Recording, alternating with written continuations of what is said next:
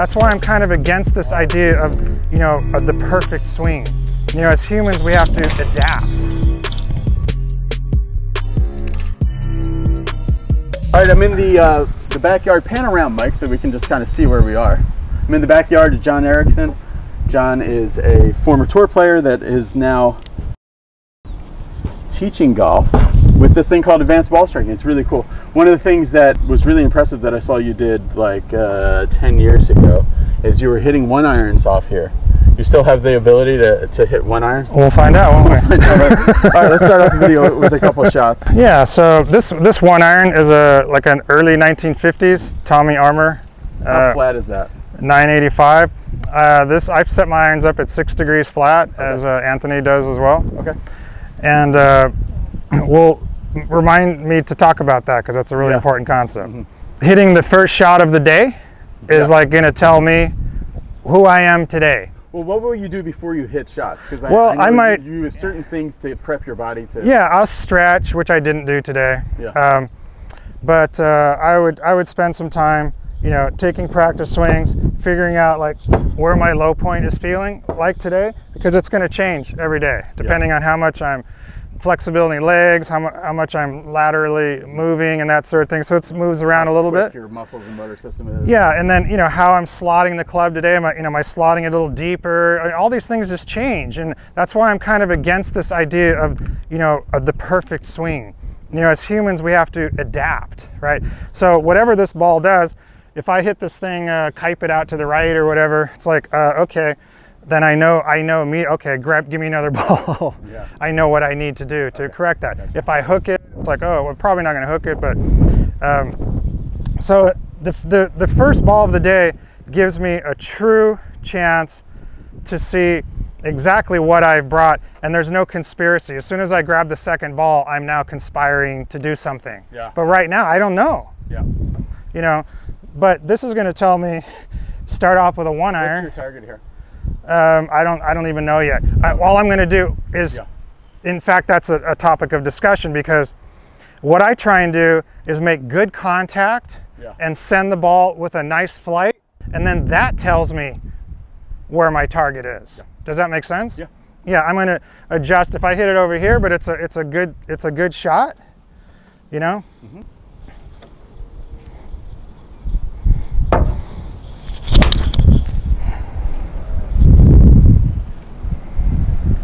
That's really good. We're good, right? Oh, really good. Yeah. Okay, so now let's say I want to I want to draw the ball. I'll try to put a little tracer on that, but that was dead straight and then faded like four yards. Yeah. So depending on what kind of shot I'm going to hit. Um, now, would you prefer to, to, hit off of like hard pan like this? Is there is there a technical reason that you like to do it like this rather than if you brought a golf mat up here or whatever? I just it, I I think it's good to practice a hard pan. You know, you got to be more precise. Yeah, because there's angle has to be flat. You yeah, it, it's not. Well, I'm you know Mo Norman. You know I knew Mo. You know, yeah. and Mo was always bacon strips, not pork chops. You know, he instilled that. Oh, bacon strips. No, no pork chops, bacon strips. Yeah, yeah. You know, and he did. He just he picked it clean, just little little bacon strips. You know, through the shot. And your body will learn because you tried you chunked this sucker. That'll hurt. Yeah, right, huh? All right, so draw here, John. Oh, walking your swing there, straight. Yeah, straight. So I didn't hit that well, but you know what? it's in play, mm -hmm. right? That's not going to hurt me. I hit it a little thin.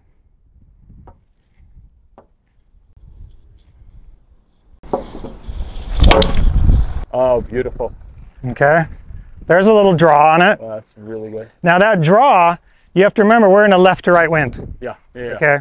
So you know, that's that's how I approach it. And, and the reason I can do that is because of the technique that I have developed. Okay. Now, let's say I want to fade one. Everything that we teach, or I teach in ABS, the way that we shape our shots is all done with post-impact intentions. It doesn't have, we don't change our grip, we don't change our stance, yeah. we don't change our backswing, we don't change our downswing. I mean, you know how most people say like, you aim your feet left and the face a little open and that'll fade it. Well, that's one way. Straight. Oh. Yeah. Well, there's an infinite number of ways okay. of fading it, right? Yeah. I mean, That'll that'll fade it. Well, right? it. I mean, there's Uh-huh. right the way that we would teach the uh, the fade shot here. Yep.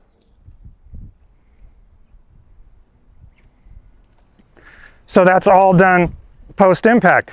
So now getting to what Anthony and I were talking about alignment. Okay. Now, I'm not one that subscribes to the idea of setting up to the target, imagining some line between the target and my ball, and then setting up square and then trying to make some perfect swing along that line. Yeah. Okay. And the reason being, and that's all going to depend upon what I'm bringing to the course. If I'm hitting a left to right shot, then obviously I'm aiming everything to the left. Yeah. If it's to the right, but the thing is I can I can set up here and I can hit the ball over here. I don't really like to come over and pull it. I don't want to pull it. I'd rather draw it in. Right. Now, when you draw the ball, you put a little more heat on the ball. Yeah. Yeah. You know, it, the draw swing Goes go, goes farther, right? We know that. So what does that mean? Well, I want to have the same intensity striking the ball, so I'm going to just shorten my backswing and hit the, hit the draw. Yeah. I'm going to shorten it and go with the same intensity. So it's not going to go as far as if I took a longer backswing. So getting into like yardages and all this stuff, I don't even use yardages. Yeah, I just play by feel. Um, I, I, I look. I'm more concerned with what I'm going to do with the, the shot, the, the shape of the shot. Am I going to start it right and draw it in? If I'm, uh, let's say, you know, uh, with this one iron, I'll just say I, we'll just say I hit it 200 yards. Okay. Okay. If I'm roughly, uh, you know, you 150 tree, you know, I'm, a, I'm roughly 200 yards. I can see. I, I know what I'd have to do to get over the back of the green. I know if I hit this, I'd be short of the green.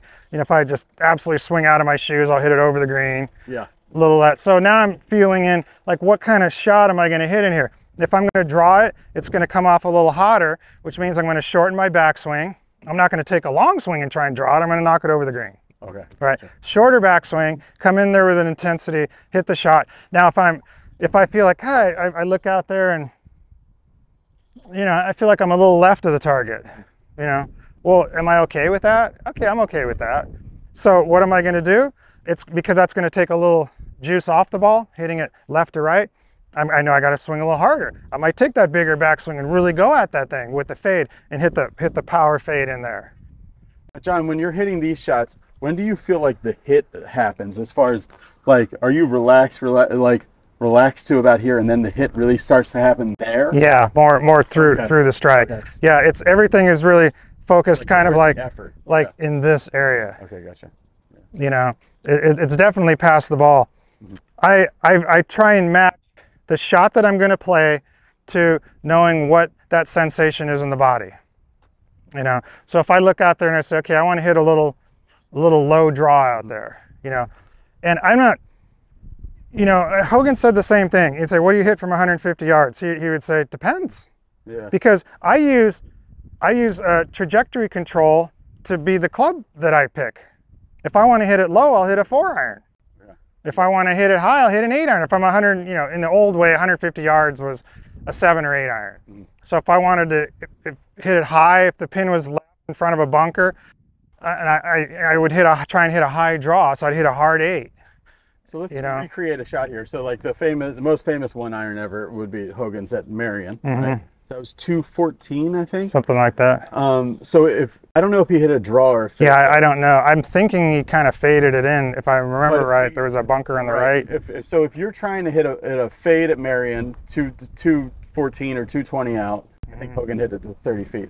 But if you're doing that and you know you need to make a par, can you just like kind of put a microphone in your head about how you would, if you're in tournament mode, how you would go through that and, and do that? Um, yeah, I mean, I'm going to consider the wind, you know, what the wind's doing. The lie that I have is the ball sitting down. Um, you know, is it sitting up? Uh, what the wind's doing is the ball below my feet? Is it above my feet? Is it down, downhill, up? You know, all these considerations. So I, I'd have to know all of those things first, like what, what I'm doing. If I had a fairly level lie, uh, if there's a bunker short right of the green. Isn't there a bunker on the short right? I don't remember. I just remember Hogan shot, and then Justin Rose had a shot from a similar distance when he won. I'd have to make a choice. Do I do I aim it at the left edge of the bunker and and then try and draw it so that's working away from the bunker to so that I'm not going to be in the bunker? Yeah. Because if I'm if I'm hitting that shot, I'm not gonna. If if I have a chance to win the tournament, I'm not double crossing shots that week. Sure. I, I know that I, I'm not gonna go out there. If I if I aim left and I'm gonna try and cut it in, but let's say I overcut it and and it comes up short in the bunker, Mm-hmm. so I'm I'm more likely to go at the left the left side of the bunker and try and hit a dart there and maybe a little bit draw it and get it on the green over there. I don't want to be in that bunker. Okay, gotcha. If I have to par the hole to win, yeah. You know, see you do it. One shot to win. one shot to win. Yep. Um, so, so what am I? What am I doing here? Am I hitting a, a draw then? So I'm going to hit a little. Yeah. So I'm going to hit, try and hit like a, kind of a low, uh, a low, low draw shot, and try and try and kind of skip it and run it up that right side.